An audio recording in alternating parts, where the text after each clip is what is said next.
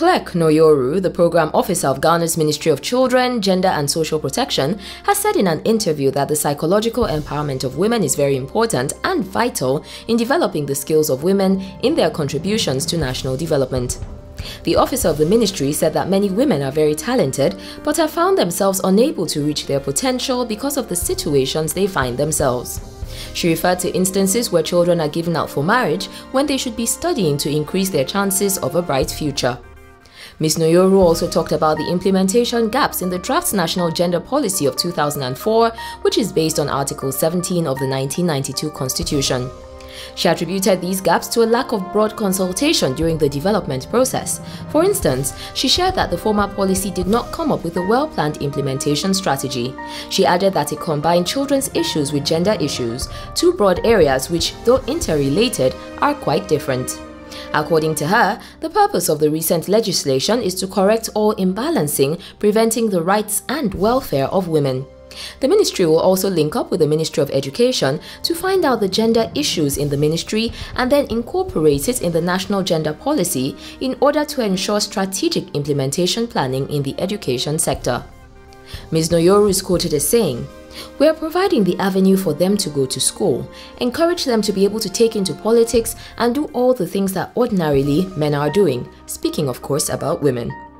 She added that women empowerment could be one of the important steps of curbing juvenile delinquency, admitting that we need a lot of advocacy and sensitization activities to be able to bridge issues of discrimination and gender-related issues.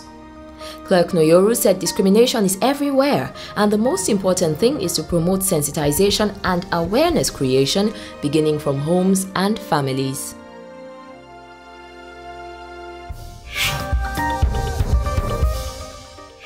And in Nigeria, the Broadband Council, set up by the Minister of Communication Technology, Dr. Omobola Johnson, has made a call for the speedy implementation of the broadband plan in the communication industry. In a release signed by the Special Assistant on Media to the Minister, Efem Nkanga, the Council made a call to all stakeholders in the communication sector and also stated the progress which had been made on the implementation of the broadband plan in the past 18 months.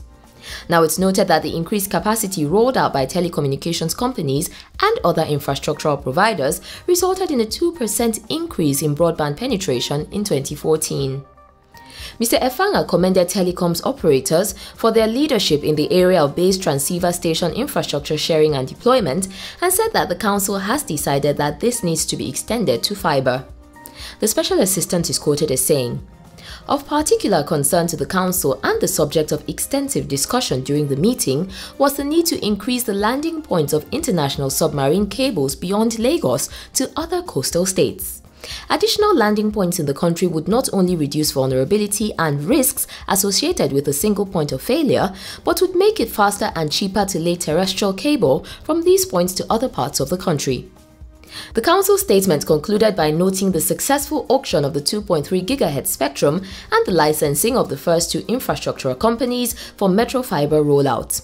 It called on successful bidders to quickly roll out to improve the pace of implementation and commended the efforts of the Nigerian Communications Commission in their successful trial of TV white spaces approved by the states.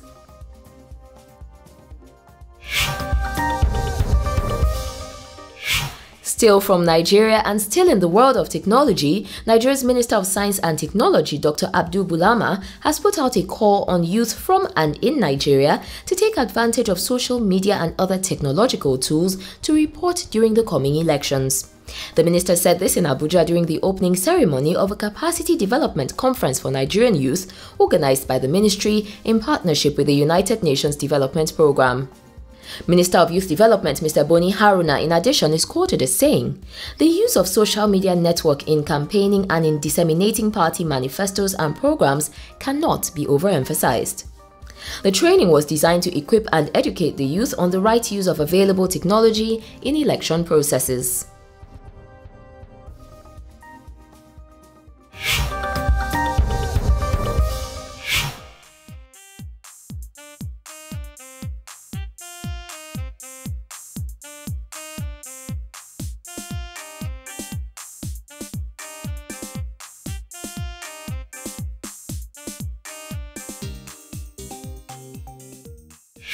Guys, we have to take a quick break now, but there's plenty more interesting stuff when we get back.